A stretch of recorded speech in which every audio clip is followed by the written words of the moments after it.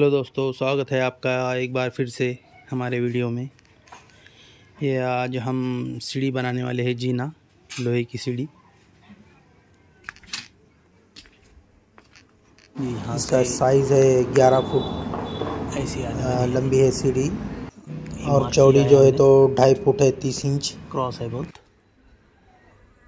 ऊपर ऊपर में नीचे से सपोर्ट नहीं है उसको कुछ। हवा में रहने वाली है वो।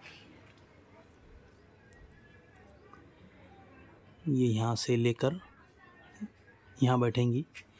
उधर मार्क है इधर। हमने चौक से मार्किंग किया है।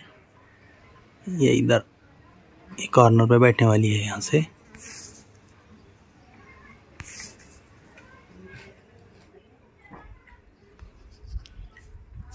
हाइट ज़्यादा है बहुत। ऊपर काम करना है पूरा इधर से। ये दस फीट के ऊपर है वो। हमको कटिंग करना है हमारे एंगल और पट्टी कट करना है हमको। थोड़े सर के एंगल हमने कट कर दिए हैं। ये हमने इतने एंगल कट कर दिए हैं।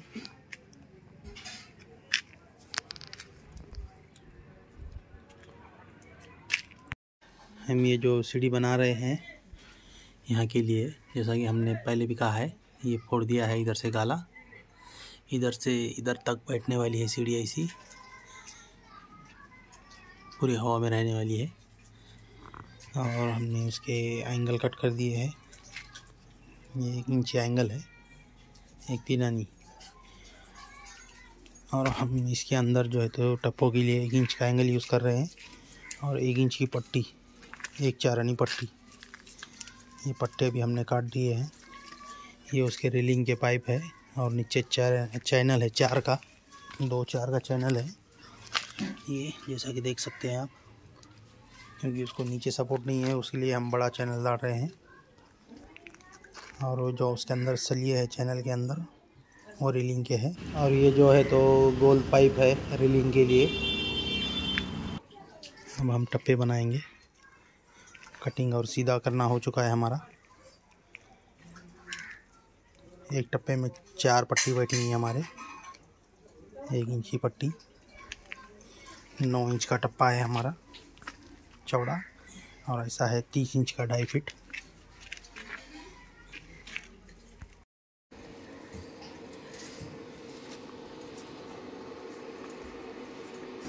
ये हमने चैनल रख दिए है फर्निशन के लिए।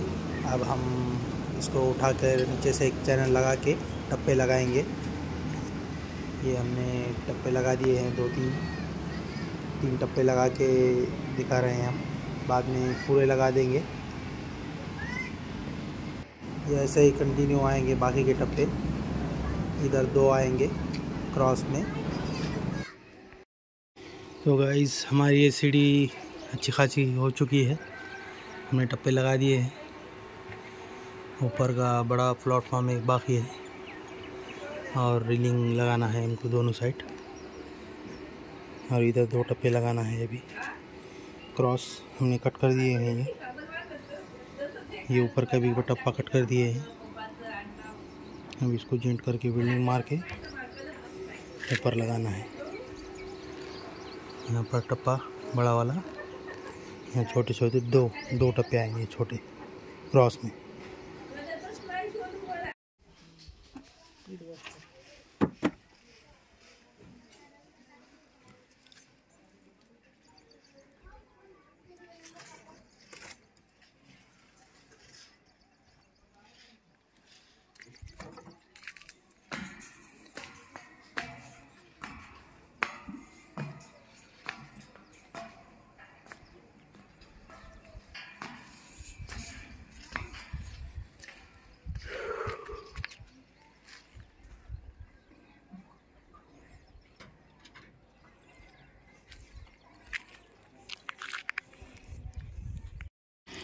तो गाइज़ हमारे टप्पे पूरे लगाना हो चुके हैं।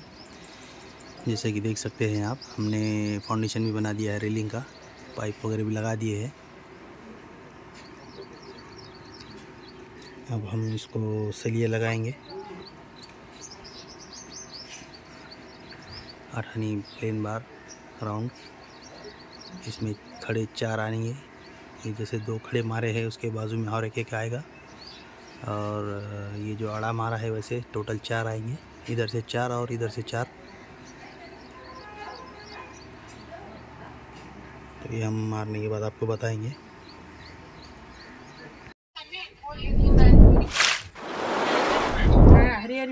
तो गाइस हमने इसको रीलिंग को चार सलिए मार दिए हैं। खड़े भी मार दिए हैं हमने सलिए। इसके अंदर जो राउंड बार है, हमारा प्लेन बार बारह एम एम का। ये हमने इसको मार दिए हैं रीलिंग बना दी है। कंप्लीट हो गई हमारी रीलिंग भी।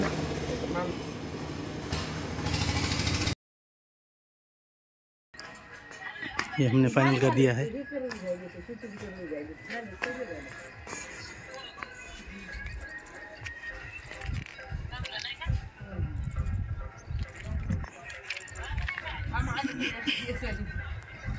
तो आपको ये वीडियो कैसा लगा है? कमेंट में ज़रूर बताएँ हमें।